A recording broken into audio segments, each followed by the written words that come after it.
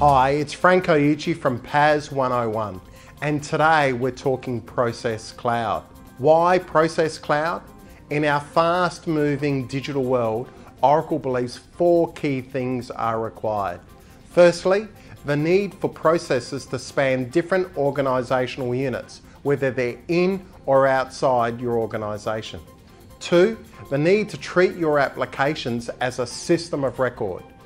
Three, a fast way to drive your new ideas and initiatives. And four, an efficient digital experience model capability driving consistent engagement across your organisation. What is it?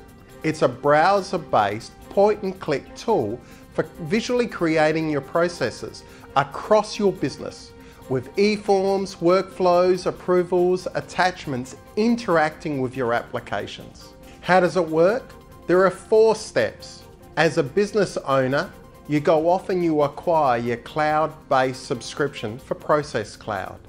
Two, as the process owner, you're then able to visually compose and create your process with e-forms, workflows, approvals, and attachments.